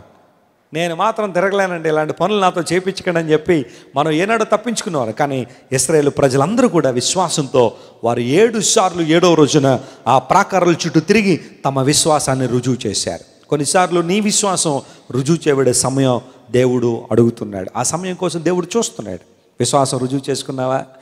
నాన్నగారు చెబుతూ ఉంటారు ఒక ఆమె యవన కాలంలో ఉండగా యేసు ప్రభుని అంగీకరించింది సత్యాన్ని అంగీకరించింది అన్ని కుటుంబంలోంచి ప్రభు ప్రేమను తెలుసుకుంది. యేసు ప్రభు గొప్ప దేవుడని ఆయన ఒక్కడే మనందరి కోసం కలవరిశిలో మరణించాడని దారదారులుగా రక్తాన్ని కార్చి ఆ రక్తంలో మన ప్రతి పాపాన్ని కడగలిగే సామర్థ్యం కలిగిన వాడని ఆయన మూడో రోజున మరణాన్ని జయించి తిరిగి లావడం ద్వారా తాను దేవుడు అని ప్రకటించుకున్న మాటలన్నీ కూడా రుజువు చేయబడ్డాయని ఎప్పుడైతే ఆమె నమ్మిందో విశ్వాసం ఉంచిందో యేసు ప్రభుని నమ్ముకుంది. కానీ కుటుంబంలో ఎవరూ ప్రభుని నమ్ముకోలేదు. వెంటనే ప్రియులరా యవన కాలంలోకి వచ్చిన తర్వాత తల్లిదండ్రుల సంబంధం చూశారు వివాహం కోసం. చెబుదాం అనుకుంది. ఆయన తన మాట నెగ్గే పరిస్థితి అక్కడ లేదు. తల్లిదండ్రులు చూసిన సంబంధం కోసం తలొగ్గింది. వెంటనే పెళ్ళి అయిపోయింది. ఇంటికి అత్తగారింటికి వెళ్తున్న సమయంలో తండ్రి వచ్చి అడిగాడు అమ్మా నీకే బహుమానం కావాలో కోరుకో ఇస్తానన్నాడు. ఒకతే కూతురు నీకేం కావాలో కోరుకో ఇస్తానంటే అంత ఆఫర్ వస్తే ఆడపిల్లలు ఏం కోరుకుంటారు చెప్పండి? నాకు నెక్లెస్ కావాలి డాడీ గారు. లేకపోతే ఒక వడ్డాణం కావాలండి. లేకపోతే ఒక ఐదు లక్షలు ఫిక్స్డ్ అయ్యింది. అని చెప్పి ఏదో రకమైన కోరిక కోరుకుంటారేమో. కానీ అమ్మాయి ఏమడిగిందో తెలుసా? డాడీ నాకు బైబిల్ కొనివ్వండి అంది. దేవుడు నా మన స్తోత్రం కలునుగాక నాకు బైబిల్ కావాలి డాడీ. తండ్రి షాక్ అయిపోయాడు. అదేంటమ్మా? నువ్వు బైబిల్ చదువుతావా? నువ్వు యేసుప్రభుని నమ్ముకున్నావా? అవును నాన్నగారు నాకు యేసుప్రభు అంటే చాలా ఇష్టం. మీరు ఒక బైబిల్ నాకు కొనివ్వండి. అని చెప్పగానే తండ్రి ఏడుస్తూ మాట చెప్పాడమ్మా నీ కాపురం కూలిపోయేలా ఉంది. నీ కాపురం కూలిపోద్దమ్మా. వాళ్ళకి అసే వాళ్ళకి వాళ్ళ వాళ్ళు క్రైస్తవులు కాదు దేవుని బిడ్డలు కాదు కాబట్టి నీ దగ్గర బైబిల్ ఉందని తెలిస్తే నీ అత్తమావలు కానీ నీ భర్త కానీ నేను ఇంట్లోంచి పంపించేస్తే ఎవరు బాధ్యత? లేదండి దేవుడు నాకు హెల్ప్ చేస్తాడు సహాయం చేస్తాడు బైబిల్ కొనేవాడిని. వెంటనే బైబిల్ కొనిచ్చాడు తండ్రి వాటిని బ్యాగుల్లో పెట్టుకుంది అత్తగారింటికి వచ్చేసింది. అత్తగారు మామగారు భర్త ముగ్గురు కూడా క్రైస్తవ్యం అంటే అసలు పడద వాళ్ళకి. అబ్బో అగ్గి మీద గుగ్గిలేలా ఉన్నారు వాళ్ళందరూ. ఏం చేయాలో అర్థం కాని పరిస్థితిలో ఆమె బాత్రూంలోకి వెళ్ళి బైబిల్ చదవడం ప్రారంభించింది. బాత్రూంలోకి వెళ్ళడం బైబిల్ చదువుకోవడం ఏవో కొన్ని మాటలు గబగబ చదువుకుని ఆ మాటలు హృదయంలో పెట్టుకోవడం మళ్ళీ తీసుకొచ్చి బైబిల్ పెట్టిలో పెట్టేస్తూ ఉంది. దినాలు గడుస్తూ ఉన్నాయి సంవత్సరాలు దొరుకుతున్నాయి ఈ లోపల జరిగిన విషయం ఏంటంటే ప్రియులరా ఆ అత్తగారు మామగారు ఇద్దరు కూడా ఇంట్లో ఉన్నారు. వాళ్ళకి అనారోగ్యం వచ్చింది. ఆ ఇబ్బందికరమైన పరిస్థితి వస్తే ప్రియులరా జరిగిన విషయం ఏంటంటే వాళ్ళిద్దరు కూడా ఇబ్బందిగా భయంకరంగా ఉన్న పరిస్థితులు ఉన్నప్పుడు దగ్గరికి వెళ్ళి అడిగింది ఆ అత్తమ్మ మామయ్య యేసు ప్రభు ప్రార్థన చేస్తే అద్భుతాలు జరుగుతాయి ప్రార్థన చేయమంటారా? అని అడిగిందట. ముందు వాళ్ళు ఒప్పుకోలేదు కానీ కాసేపటికి ఒప్పుకున్నారు. ప్రార్థన చేసింది కొంచెం ఉపశమనం కలగడం ప్రారంభించింది. దేవుడు ఆ ప్రార్థన విన్నాడు. విన్న తర్వాత ఆ మామగారు అడిగారట ఈ క్రైస్తవులు ఏదో పుస్తకం చదువుతూ ఉంటారు అదేమన్నా మనం కూడా తెచ్చుకుంటే బాగుంటుందేమో? అన్నాడట వెంటనే అంది తెచ్చుకోవడం ఏంటి? మామగారు ఆల్రెడీ మన ఇంట్లో ఉంది అందట. మన ఇంట్లోనే మాకు తెలియకుండా? నా పెట్టిలో ఉందండి? గబగబా తీసుకొచ్చింది. మేము ఇంకా యేసు ప్రభు గురించి ఎక్కువగా తెలుసుకోవాలి. పాస్టర్ గారు ఒక ఆయన ఉంటారండి. ఆయనకి బైబిల్లో చాలా విషయాలు తెలుస్తాయి. మనకు కావాల్సిన విషయాలని చెబుతారంటే పిలిపించి ఆయన్ని. పాస్టర్ గారు ఎంటర్ అయిపోయారు లోపలికి. దేవుని వాక్యం చెప్పడం ప్రారంభించారు. విశ్వాసంలో కుటుంబంతో అభివృద్ధి చెందుతా ఉంది. భార్య ప్రభువును ఆల్రెడీ తెలుసుకుంది. భర్త తెలుసుకున్నాడు. తల్లి తండ్రి అందరూ ప్రభువుని తెలుసుకున్నారు. ఒకరోజున కొన్ని రోజుల తర్వాత ఈ కుమార్తె తండ్రి మా అమ్మాయి కాపురం ఎలా ఉందో చూద్దామని చెప్పి గ్రామం నుండి బయలుదేరాడు. అదే ఆలోచన. వెళ్ళేటప్పుడు బైబిల్ అడిగింది ఏమైందో? ఎలా ఉందో పరిస్థితి? నా కూతురు ఎన్ని కష్టాలు పడుతుందో ఇబ్బందులు పడుతుందని అనుకుంటూ వచ్చాడు. వచ్చి ఆ గుమ్మం దగ్గరికి వచ్చి తలుపు తీయగానే ఆ తండ్రి కళ్ళం నీళ్ళు వచ్చేసినాయి. కారణం ఏంటో తెలుసా? ఆ ఇంట్లో కుటుంబ ప్రార్థన జరుగుతుంది. దేవుడు నా మన స్తోత్రం కలుగుగాక అత్త మామగారు భర్త భార్య పిల్లలు అందరూ చేరి ఒక రౌండ్ టేబుల్ సమావేశంలాగా అందరూ కూర్చుని కుటుంబ ప్రార్థన చేసిన ఏసఐ పాటలు పాడుతూ ఉంటే కలవం నీళ్ళు వచ్చాయి. నా కుమార్తె కాపురం పాడైపోద్ది అనుకున్నాను కానీ ఏసై ఆ జీవితాన్ని కట్టాడు. వారందరినీ ప్రభు వైపు ఆకర్షించాడు. దేవుడు నా మన స్తోత్రం కలుగునగాక. విశ్వాసం విశ్వాసం విశ్వాసం. దేవుని పట్ల నీకు ఎంత నమ్మిక అయితే ఉంటుందో ఎంత విశ్వాసం అయితే ఉంటుందో దేవుని కార్యాలు అంత అద్భుతంగా నీ జీవితంలో జరుగుతాయి. ప్రేమిత్రమా start your journey with faith do your journey with faith continue your journey with faith విశ్వాసంతో నీ నీ యొక్క పనిని కొనసాగించు. విశ్వాసంతో నీ యాత్రను కొనసాగించు. విశ్వాసంతో నీ ప్రయాణాన్ని కొనసాగించు. ప్రభు కార్యాలు జరుగుతాయి.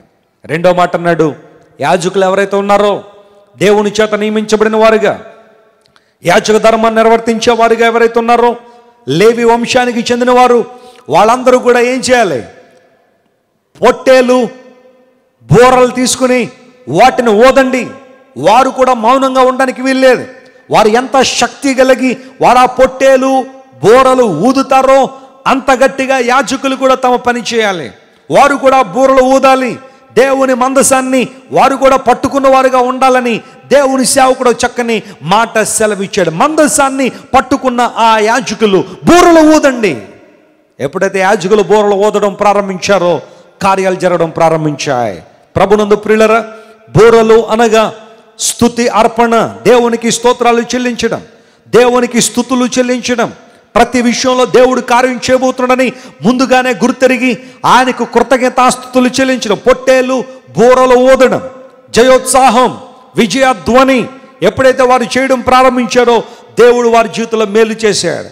నీవు నేను కూడా సమస్య మన ముందు ఉన్నప్పుడు ఇబ్బందికర పరిస్థితులు మన ముందు ఉన్నప్పుడు మనం కూడా పొట్టేలు బోరలు ఊదువారంగా స్తుతి అర్పణ చేసేవారంగా విశ్వాసంతో దేవుడు మాకు విజయాన్ని దయచేయబోతున్నాడు అని నమ్మి దేవునికి స్థుతులు చెల్లించే వారంగా ఉంటే ఈ రోజున మనం కూడా అద్భుత కార్యాల్లో పాలిభాగస్తులు ఉండబోతున్నాం. మనకున్న ప్రతి సమస్యను దేవుడు తొలగించబోతున్నాడు. విశ్వాసంలో మనం స్థిరపరచడం మాత్రం కాకుండా స్థుతి అర్పణ ద్వారా దేవునికి మరింత దగ్గరగా మనము రాగలం. యేసు ప్రభు చక్కని మాదిరి ఉంచాడు కదా. లాజరు సమాధిలో పెట్టబడినప్పుడు బేతనీయలో యేసు ప్రభు సమాధి దగ్గరికి వచ్చారు.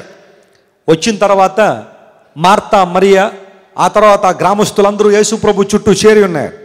చాలామంది పరిశైలు శాస్త్రులు సద్దుకాయలు కూడా యేసుప్రభు చుట్టే ఉండేవారు. ఆయన ఏం చేస్తే ఆయన విమర్శిద్దాం. ఆ సమయంలో ప్రభు అన్నాడు మార్త దగ్గరికి వచ్చి అమ్మ రాయి పొరలిస్తే బాగుంటుంది రాయి పక్క తీయండి అన్నాడు. ఆ మంది వాసన వచ్చేస్తాడేమో కదా నాయన అంది. మార్త బాగా కొంచెం మానవ ఆత్మ ఎక్కువగా కలిగి ఉండి ఎక్కువగా ఈ విషయాలు మాట్లాడుతూ ఉండే ఫస్ట్ సర్వీస్లో మార్తకు ఉపచారం గురించి మాట్లాడాను. అయితే మార్త దేవునికి సలహాలు ఇస్తూ ఉంది. వాసన వచ్చేస్తాడు కదా నాయన దేవునికి తెలియదా వాసన వస్తాడని? తెలుసు. అయినా ఆ రాయి పొర్లించమంటే వెంటనే ఆ రాయి పొర్లించారు. ఇప్పుడు యేసు ప్రభు చేసిన పని ఏంటో తెలుసా? ఆకాశం వైపు తన కన్నులెత్తి నా మనవి వినినందుకు కృతజ్ఞతాస్తుతులు అన్నాడు గట్టిగా చెప్పలు కొట్టి ఏసనమయం పరచండి లాజర్ ఇంకా బయటకు రాలా? యేసు ప్రభు ఇంకా లాజరు బయటకు రాని పలకల దానికి ముందు యేసు ప్రభు చేసిన ప్రార్థన ఏంటో తెలుసా? ఆయన ఆయన పలికిన మాటలు ఏంటో తెలుసా? తండ్రి నా మనవి వినినందుకు నీకు కృతజ్ఞతాస్థుతులో అంటే God knows the medical already happened already అద్భుతం జరిగిపోయిందని ఏసైకి తెలుసు. కృతజ్ఞతాస్తులు చెల్లించాడు. పొందబోయే వాటిని బట్టి ముందుగానే దేవునికి కృతజ్ఞతాస్తులు చెల్లించడం ముందుగానే దేవునికి మహిమను ఆపాదించడం స్థుతి అర్పణ ధ్వనులు చేయడం. ఇది ఎంత గొప్ప ఆశీర్వాదకరమైన అంశం యేసుక్రీస్తు ప్రభు ముందు సమస్య ఉన్నప్పుడు స్థుతించడం. కొన్నిసార్లు సమస్య ఉన్నప్పుడు కలవరపడతాం. సమస్య ఉన్నప్పుడు తొందరపడతాం. సమస్య ఉన్నప్పుడు ఇబ్బందులు పడతాం. సమస్య ఉన్నప్పుడు ప్రార్థన చేయాలన్న మనసు రాదు. సమస్య ఉన్నప్పుడు దేవుని స్తుతించాలన్న మనసు మనకు రాదు.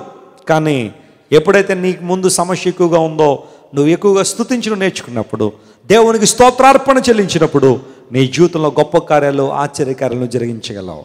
ఇప్పుడు ఇలా ఆలోచించాయి ఏసయ నీ పక్షాన కార్యం జరిగించాలంటే స్థుతి స్థుతి ఆరాధన కృతజ్ఞతాస్థుతులు పొంది ఉన్న వాటిని బట్టి పొందబోయే వాటిని బట్టి కూడా దేవునికి మహిమ చెల్లించినప్పుడు ఆశ్చర్యకారులు మనం చూస్తాం. మూడో మాట దగ్గరికి వస్తున్నాను చూడండి. మూడో మాట ప్రజలు ఏం చేయాలి? యాజకులు వారు పొట్టేళ్ళు కొమ్ము బోరలు ఊదుతున్నారు. విజయధ్వని సంతోషధ్వని వారు చేస్తున్నారు. ప్రజలు ఏం చేయాలి అంటే ఆ మాట చూడండి ఆ పదహారో వచనం. యెహోషువ గ్రంథం ఆరో అధ్యాయం పదహారో వచనం. ఏడవ మారు. ఏడో మారు. యాజకులు బోరలు ఊదగా. యాజకులు బూరలు ఊదగా. యెహోషువ జనులకు ఇలాగ ఆజ్ఞ ఇచ్చెను. జనులకు ఇలాగూ ఆజ్ఞ ఇచ్చెను. కేకలు వేయుడి. కేకలు వేయండి. యెహోవా ఈ పట్టణమును మీకు యెహోవా ఈ. పట్టణమును మీకు అప్పగించు అప్పగించుచున్నాడు. మూడో మాట ప్రజలందరూ ఏం వేయాలట? కేకలు వేయాలి. కేకలు వేయాలి. యాభై ఆరు కిలోమీటర్లు నడిచిన వాళ్ళు ఎవరైనా కేకలు వేస్తారండి? మనం యాభై ఆరు కిలోమీటర్లు నడిచి వచ్చిన తర్వాత ఎవరైనా మనల్ని ఏమంటే ఒక పాట పాడనంటే పాడతాం మనం? యాభై ఆరు కిలోమీటర్లు నడిచిన తర్వాత బ్రదర్ కొంచెం గట్టిగా అరువు నాయనంటే ఆయన అరిస్తే పక్కోళ్ళకే వినపడదు అరుపు. అంత గట్టిగా అరుస్తాడు. అలిసిపోయి ఉంటాను. ప్రయాసపడి ఉంటాను. ఎండలో ఉదయం నుండి తిరిగి తిరిగి ఉన్న ప్రజలందరితో యహోషు అంటున్నాడు ప్రజలారా మీరు వేయండి కేకలు వేయండి ఆర్భటించండి విజయధ్వని చేయండి కేకలు వేయండి. బైబిల్లో చాలా చోట్ల మనం గమనిస్తూ ఉంటే భర్తమై యేసు ప్రభు కోసం ఏం వేశాడట? కేకలు వేశాడని బైబిల్లో ఉంది. మార్కు సువార్త పది నలభై ఆరు నుండి యాభై రెండు వరకు మనం చదివితే భర్తమై కేకలు వేశాడు. యేసు ప్రభు మార్గంలో నడిచి వెళ్తూ ఉంటే గట్టిగా కేకలు వేశాడు. దావీదు కుమారుడా యేసు కరుణించుమని బిగ్గరగా కేకలు వేశాడు. అయితే అక్కడున్న వాళ్ళందరూ కూడా భర్తమై కేకలు వేస్తూ ఉంటే ఊరుకోమని వీళ్ళు కేకలు వేయడం ప్రారంభించారు. ఊరుకుండమని అనేక మంది భర్తమైన గద్దించిరి కానీ వాడు మరి బిగ్గరగా ఏం వేశాడట? కేకలు వేశాడు. అంటే అక్కడ జరిగిన సిచ్యువేషన్ ఎలా ఉండుంటుంది? దావేది కుమారుడా యేసు కరుణించని గట్టి గట్టిగా అరుస్తుంటే ఆ మాటలు వెళ్ళకి ఇరి ఆ ఇరిటేషన్ ఇచ్చాయి. ఆ వాళ్ళందరూ వచ్చి అన్నారు ఎందుకు అలా గొంతు దించుకుని అరుస్తావు? యేసుప్రభు నీ మాటలు ఏమన్నా వింటాడా? ఆయన అంత బిజీగా వెళ్ళిపోతున్నాడు చూడు నీలాంటి వాళ్ళు యేసుప్రభు పట్టించుకోడు ఊరుకో అని అనేక మంది అతను గద్దించారట. సరే వీళ్ళతో ఎందుకులే పెట్టుకోవడం? మళ్ళీ రేపొద్దున వీళ్ళే నాకు హెల్ప్ చేయాలి. ఏమైనా ఇబ్బందులు ఉంటే వీళ్ళే సహకరిస్తారు. వీళ్ళతో గొడవ ఎందుకులే అని చెప్పి భర్తపై ఇంటికి వెళ్ళిపోలా డిసైడ్ అయిపోయాడు ఆ రోజున. దేవుడు నన్ను కరుణిస్తాడంతే. ఆయన నా జీవితంలో మేలు చేస్తాడు. గట్టి గట్టిగా కేకలు వేశాడు. వారు ఎంత గట్టిగా ఊరుకోమంటే ఈయన అంత గట్టిగా ఏం పెంచేస్తున్నాడు? సౌండ్ పెంచేస్తున్నాడు. సౌండ్ సిస్టమ్ ఉంది. అప్పుడప్పుడు సౌండ్ పెంచుతూ ఉంటారు. ఆ, చివరి వాళ్ళకి సరిగ్గా వినబట్టలేదంటే పెంచు సౌండ్ అనగానే సౌండ్ పెంచుతూ ఉంటారు. అలాగే భర్తమై కూడా ఏం పెంచేస్తున్నాడు? సౌండ్ పెంచేస్తుంటే ప్రజలు అనుకుంటారు ఒరే వీడిని కదిపితే కందిరిగైపోతున్నాడు రా వీడు. కదిపుతున్న కలది ఇంకా గట్టిగా అరుస్తున్నాడు. అంటే భర్తమాయిలో నా ఒకే ఒక ఆకాంక్ష ఏంటో తెలుసా? నేను వేసే కేకలు ప్రజలకు అర్థం కాకపోవచ్చేమో కానీ నేను వేసే కేకలు నా దేవునికి అర్థం అవుతున్నాయి. హలలుయ ఆయన నా స్థితిగతులు ఎరిగిన వాడు నా పరిస్థితిని గుర్తించేవాడు. అందరం బట్టే వెళ్తూ వెళ్తూ వెళ్తున్న యేసు ప్రభు భర్తే భర్తమై కేకలు వేగిన ఏం చేశారట ఆయన? ఆగిపోయాడు నిలబడిపోయాడు. భర్తమై కేకల్ని యేసు ప్రభుని కట్టి పడేశాయి దేవుని మన స్తోత్రం కలుగును ఆ కేకల్లో అర్థం ఉంది. పొలి కేకలు వేయమని అర్ధరహితమైన కేకలు వేయమని దేవుని ఉద్దేశం కాదు. భరితమైన హృదయాంతరంగం నుంచి కేకలు వేశాడు. ప్రభువా నన్ను కరుణించు. కణాను స్త్రీ సురోఫెనికే వంశానికి చెందిన ఒక స్త్రీ తన కుమార్తెకు దయ్యం పడితే దేవుని సన్ని దగ్గరికి వచ్చి కేకలు వేసింది యేసుప్రభు దగ్గరికి వచ్చి. శిష్యులు ఆమెను సముదాయించి పంపించే ప్రభు అని శిష్యులు అడిగారట. ఆమెను పంపించే ప్రభు ఏదో ఒకటి చెప్పే. కేకలు వేసింది ఆ గొప్ప స్త్రీ. వాస్తవానికి సురోఫనిక వంశం వాళ్ళంటే చాలా గొప్ప వంశము ధనికులైన వారు ఉన్నతమైన స్థితిలో ఉన్నవారు. తన కుమార్తెకు దయ్యం బట్టి లేకపోతే ఇబ్బంది వస్తే ఆమె చాలా చోట్ల తిరిగి ఉండొచ్చు. కానీ ఫైనల్గా తెలుసుకుంది యేసు ప్రభు అయిన సమస్య పరిష్కారం.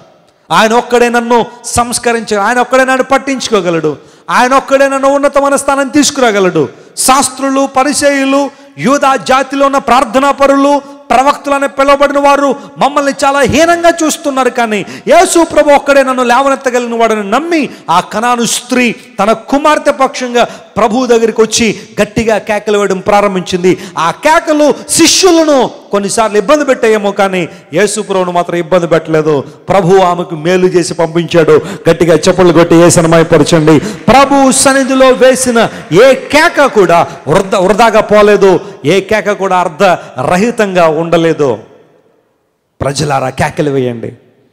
దేవుని పట్ల మీకున్న విశ్వాస్యతను ఆయన పట్ల మీకున్న నమ్మికను దేవుడు మీ జీవితంలో కార్యం జరిగించిపోతున్నాడన్న విశ్వాసంతో గట్టిగా కేకలు వేయండి. మీరు చేయగలిగింది అదే మీరు చేయగలిగింది మీరు చేయగలిగితే దేవుడు చేయగలిగింది. ఆయన చేస్తాడు.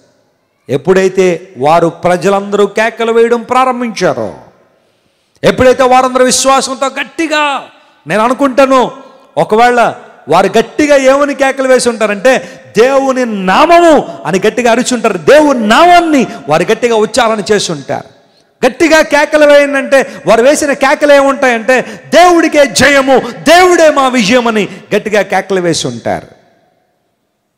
ఏలియా ఎప్పుడైతే బాయిలు ప్రవక్తల్ని కీషోను వాగు దగ్గర వధించాడో కీషోను వాగు దగ్గర వాళ్ళందరినీ పట్టుకుని వధిస్తున్నాడో ప్రజలందరూ ఏమని కేకలేశారని తెలుసా? ఏమని కేకలేశారో తెలుసా? యెహోవాయ దేవుడు యెహోవాయ దేవుడు అని కేకలు వేశారు. దాన్ని ఒక మాటలో చెప్పుకోవాలంటే ఏలియా ఏలియా అని కేకలు వేశారు. ఏల్ అనగా దేవుడు యా అనగా యహోవా. ఏలియా అనే మాటకు యహోవాయ దేవుడు అని అర్థమైతే అక్కడ ఉన్న వాళ్ళందరూ ఏలియా ఏలియా అని కేకలు వేశారు. అంటే అర్థం ఏంటి తెలుసా? యహోవాయ దేవుడు అని కేకలు వేశారు. ఇక్కడ కూడా దేవుని ప్రజలు దేవుని నామమును ఉచ్చారణ చేసి వారందరూ బిగ్గరగా కేకలు వేశారు. ఏసయ నామంలో శక్తి ఉంది. గట్టిగా చప్పళ్ళు కొట్టి ఏసనమై పరచండి ఆయన నామ ఉచ్చారణలోనే యేసు ప్రభు నామం పలకడంలోనే అద్భుతాలు జరుగుతాయి. అనారోగ్యంతో ఉన్నావా ఉచ్చారణ చేయి నామాన్ని. అప్పు బాధల్లో ఉన్నావా? ఉచ్చారణ చేయేసు ప్రభు నామాన్ని. సమస్యలు వ్యసనములు నిన్ను పట్టి పీడిస్తున్నాయా? చెప్పు ఏ నామంలో జయమని చెప్పు. దురాత్మలు పీడిస్తున్నాయా? చెప్పు ఏసయ నామంలో భయం. భయ ఏసైనామలో జయమని చెప్పు. ఒకవేళ నీ జీవితంలో రాత్రి వేళ భయము నిన్ను ఆవహిస్తోందా చెప్పు యేసు రక్తమే జయం. ఏసు నామమే జయము. There is power in the name of Jesus ఏసఐ నామాన్ని గట్టిగా ఉచ్చారణ చేయడం ద్వారా. కేకలు వేయడం అనగా ప్రజలందరూ ఒకే నామమును కేకలు వేశారు. వెంటనే ప్రాకారాలు ఏమైపోయినాయి? కూలిపోయాయి. ఎంత అద్భుతమో తెలుసా అండి? మనం ఈరోజు ఇజ్రాయెల్ దేశం వెళ్తే ప్రాకారాలు కూలిపోవడం మాత్రం కాకుండా అవి భూమిలోనికి దిగబడిపోయినాయట. పెద్ద పెద్ద ప్రాకారాలు కూలిపోయి అనుకోండి మళ్ళీ అన్నీ ఎవరు ఎక్కాలి అవన్నీ ఎవరు తొలగిస్తారు పక్కకి?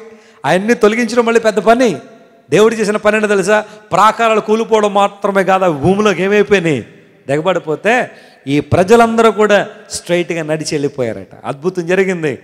లోపల ఉన్న ఎరికో వాసులందరూ కూడా ప్రతిఘటించలేకపోయారు. దేవుని ప్రజలు ఆ ప్రాంతంలోకి వెళ్ళి వారందరి మీద విజయం సాధించారు. కారణం ఏంటో తెలుసా? అప్పటికే దేవుడు కార్యం చేసి పెట్టాడు. దేవుని స్తోత్రం చెప్పండి. హలలుయ ఇప్పుడు ఏం జరిగిందంటే జాగ్రత్త చూడండి. ఒకవేళ ఇదంతా పెద్ద ప్రాకారం అనుకుందాం. లోపల ఎరుకో ప్రజలు ఉన్నారు. రాజు ఉన్నాడు సైన్యాధిపతులు ఉన్నారు సైన్యం ఉన్నారు వాళ్ళందరూ లోపల ఉన్నారు. ఇప్పుడు జరిగిన విషయం ఏంటంటే బయట దేవుని ప్రజలు ఏం చేస్తున్నారు? తిరుగుతూ ఉన్నారు. తిరుగుతూ ఉంటే లోపల అనుకుంటున్నారు అరే ఏం చేసి ఉంటున్నా ఏం చేస్తున్నారా బయట వాళ్ళు?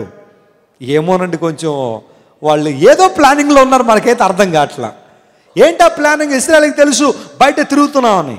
లోపల వాళ్ళు ఎంత తిరిగితే మనకి లోపల రాగలుగుతారేంటి వాళ్ళు వాళ్ళేం లోపలికి రాలేరుగా?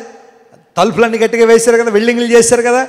జాగ్రత్తగా అందరిని అక్కడ కాపలా పెట్టండి అని చెప్పి మొత్తం తలుపులన్నీ మూసి లోపల ఏం జరుగుతుందని చూసేసరికి ఇప్పుడు జరిగిన విషయం ఏంటో తెలుసా? దేవుడు అన్నాడు నా సైన్యమా? రండి అన్నాడు. దేవుడు పిలిస్తే రాని సైన్యం అంటే ఏముంది చెప్పండి? వెంటనే కందిరీగల సైన్యం వచ్చిందట. చెప్పండి ఏ సైన్యం వచ్చింది? కందిరీగలు.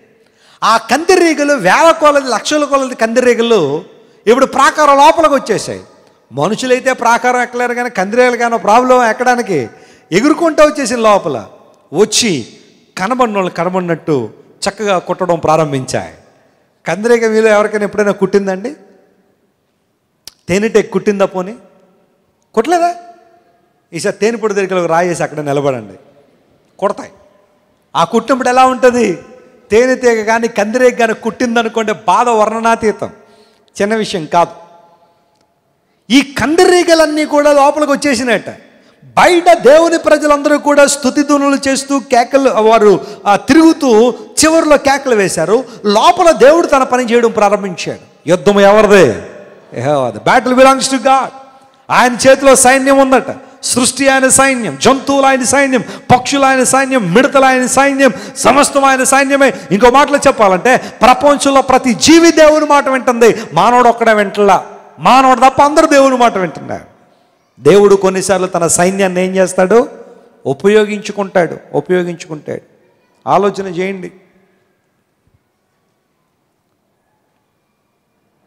ఎప్పుడైతే ఆ ఆ కందిరీగలు వచ్చి అందరినీ కొట్టడం ప్రారంభించాయో ఒక కామంటుంది ఏమండి? ఎక్కడున్నారండి? కందిరీగలు కుట్టేస్తున్నాయండి. నన్ను కాపాడండి అనగానే అప్పుడు ఆయన అంటాడు ఎంతవరకు నిన్ను కాపాడింది చాలు. ఇప్పటికీ నన్ను కూడా కొడతాయి కందిరీగలు అని చెప్పి ఆయన కూడా బాధపడతాడు భర్త. పిల్లలు అంటున్నారు డాడీ కందిరీగలు కుట్టేసిన డాడీ. కందిరీగలు కుట్టేసిన డాడీ నన్ను కాపాడు డాడీ అంటే ఆయన అంటాడు నేను ఏ డాడీతో చెప్పుకోవాలరా? నన్ను కూడా కుట్టేస్తున్నాయి ఇక్కడ. చిన్న లేదు పెద్ద లేదు అందరినీ కందిరీగలు కుట్టుపడేస్తుంటే ప్రజలందరూ అన్నారు రాజుగారండి రాజుగారండి మాకు హెల్ప్ చేయండి అంటే నేను ఎవరు హెల్ప్ తీసుకోనయ్యా? నన్ను కూడా కుట్టుపడేసినాయని రాజుగారు కింద పడిపోయాడు ఆయన. మీరు ఒకసారి ఊహించవచ్చు ఎంటైర్ ఎరికో ప్రాకారంలో అందరినీ కందిరీగలు ఏమంటే అసలు మామూలుగానే కుట్టేస్తాయి. దేవుడు ఆజ్ఞాపిస్తే అసలు ఆగుతాయా? మొత్తం అందరినీ కుట్టుపడేసరికి అమ్మ అయ్యా రే తలుపులు తీసేయండి రా బయట పారిపోదాం. తలుపులు తీసేటట్టు నువ్వే కదా గట్టిగా వేసామన్నావు అవన్నీ వెల్లిగిలు చేసి పడేశాం. వాళ్ళు మూసుకున్న ద్వారాలు వాళ్ళకే శాపం అయిపోయినాయి. దేవుడు నామం స్తోత్రం చెప్పండి. హలలుయ వారి గోడలు లేదా ద్వారాలు మూసిన ఉద్దేశం వేరు. కానీ ఇప్పుడు తప్పించుకోవాలనుకుంటే వాళ్ళకి అవి ఏమైపోయినాయి చెప్పండి. కీడు చేయువాడు దానిలోనే పడతాడని బైబిల్లో ఉంది. ఎవరు తీసిన గోతులో వాళ్ళే పడతారు. ఎవరు ఎవరో పడక్కర్లా? ఎవరికైనా గోతులు తీస్తున్నావా? ఇబ్బంది పెట్టాలని? ఎవరినైనా పడేయాలని గోతులు తీస్తున్నావా? నీకు గుడ్ న్యూస్ నువ్వే పడతావు అందరికన్నా ముందు దానిలో. మానేయాలని గోతులు తీయడం. కొంతమంది ఎప్పుడు ఇతరులకు కీడు చేయాలని ఏదో విధంగా క్యారెక్టర్ అసాసినేషన్ చేస్తారు కొంతమంది. ఇతరుల యొక్క క్యారెక్టర్ మీద బుర్ర జల్లుతూ ఉంటారు. ఆ మీరందరూ అనుకున్నది మంచి వ్యక్తి ఏం కాదండి? ఆడి గురించి నాకు తెలిసండి అని పుకార్లు మొదలు పెడతారు కొంతమంది మీద. వాస్తవాలు మాట్లాడుకోవడం వేరు పుకార్లు పుట్టించడం వేరు.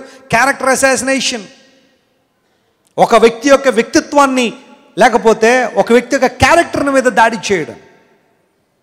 కొంతమంది లేనిపోయినవన్నీ పుకార్లు పుట్టించి గోతులు తవ్వాలనుకుంటారు అయితే బైబిల్ సెలవిస్తూ ఉంది ఎవరు తీసుకున్న గోతులో వాళ్ళే పడతారు. జాగ్రత్త సుమ హామాను పడ్డాడా లేదా?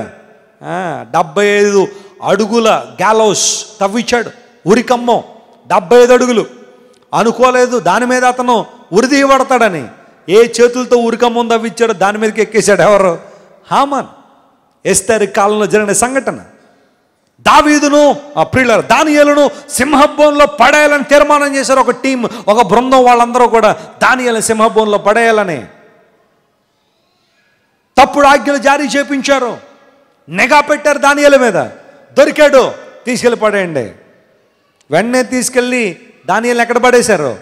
సింహాల బోన్లో పడేశారు. చాప్టర్ క్లోజ్ రండ్రా ఐఫై అందరూ మొత్తం సంబరాలు పైన. అయితే ఈ లోపల ఇక్కడ సిచ్యువేషన్ మారిపోయింది. దానియేలు లోపల పడిన సింహాలు దానియలు చుట్టూ మోకాళ్ళు వేశాయి. దేవుడు నా మన స్తోత్రం కలను గాక. సింహాల నోళ్ళను దేవుడు ఏం చేశాడు? మూసేశాడు. సింహాలు దేవుని సైన్యం దేవుడు ఆజ్ఞాపించాడు. నా సేవకుడు వస్తున్నాడు మీతో కొంతకాలం ఉంటాడు. ఒక రాత్రంతా ఉంటాడు. ఆయన మీరు ఏం చేయడానికి వీల్లేదో కీప్ క్వైట్ అనడంతే దేవుడు ఆకాశం నుండి సింహాలు మొత్తం తోకముడి చేసి కూర్చున్నాయి. అరే మనం ఈయన టచ్ చేయకూడదురా. మన జాబ్ కాదురా ఇదే. ఈయన ఎవరు దేవుని? సేవకుడు మనకు పని ఉందిరా తెల్లారుజామున కొంతమంది పడతారు అట్లా లోపలికి. వాళ్ళు మాత్రం పడదాం పట్టు పడదాం. పడ్డారా లేదా తెల్లవారుజామున ఎవరైతే దానియాలకు వ్యతిరేకంగా పన్నాగలు పన్నారో దానియాలు బయట తీసి మొత్తం వాళ్ళని ఎక్కడేశారో? లోపలేస్తే విచిత్రం ఏంటో తెలుసా? వాళ్ళు కింద కూడా పడలేదట. ఎవడ ఎక్కడ? అలా నోరు తెరుచుకుని రెడీగా ఉన్నారు. రండిరా మీకోసం ఉన్నామని. మొత్తం ఎముకలు కూడా మిగిల్చలేదట అవి. కొంతమంది అనుకోవచ్చు దానియాలు లోపల పడుంటే ఆ సింహాలకు ఆకలి లేదేమోనండి అందుకని టచ్ చేయలేదేమోనండి. మరి అవే సింహాలు మరి అవతలని పీల్చి పిప్పి చేసినాయి కదా. ఆలోచన ఇచ్చే దేవుడిని పక్షాన కార్యం జరిగిస్తున్నాడు. కందిరీగల దండు ఎప్పుడైతే ఎరుకోవాసుల మీదకి వచ్చాయో వారందరినీ భయంకరంగా ఆ, కుట్టేసేసరికి వాళ్ళందరూ ఎవరికి వారు నిశ్చేష్లుగా పడిపోయారు? ఇస్రాయేళ్ళు ప్రాకారాలు కూలిపోగానే వాళ్ళందరూ వెళ్ళి వారిని నాశనం చేసి తమ ప్రాంతాలకు ఆవిష్యం చేసుకోవడం ప్రారంభించారు. God is working on your behalf దేవుడు నీ పక్షాన కార్యం జరిగిస్తున్నాడు. శత్రువులు నీ చుట్టూ చేరే పన్నాగములు పనుతూ నీకు కీడు చేయాలని ఇబ్బంది కలుగు చేయాలని ఎన్నో ప్రయత్నాలు చేస్తున్నారా? చూడు దేవుని వైపు చూడు. విశ్వాసాన్ని రుజువు చేసుకో. విశ్వాసమును బట్టి ఆ ప్రజలందరూ ఎరుకో చుట్టూ తిరగగా ప్రాకారాలు కూలిపోయాయి. నీ సమస్య మీద జయమిస్తాడు. నువ్వు ముందుకు సాగిపోవడానికి కనాన దేశంలో మిగతా ప్రాంతాలు స్వాధీనం చేసుకోవడానికి దేవుడు నీ కొరకు సిద్ధపరిచిన ఆ గొప్ప విజయవంతమైన స్థానమును చేరుకోవడానికి దేవుని కృప నీకు తోడుగా ఉంటుంది కనుక నువ్వు ముందుకు సాగిపోతావు. అలాంటి కృప యేసు ప్రభు మీకు ఇవ్వాలని అన్ని విషయాలు దేవుడు మీకు సహాయం చేయాలని మీకోసం ప్రార్థన చేస్తాను. కళ్ళు మూసుకొని ప్రార్థన చేసుకుందాం. Everyone please close your eyes I'd like to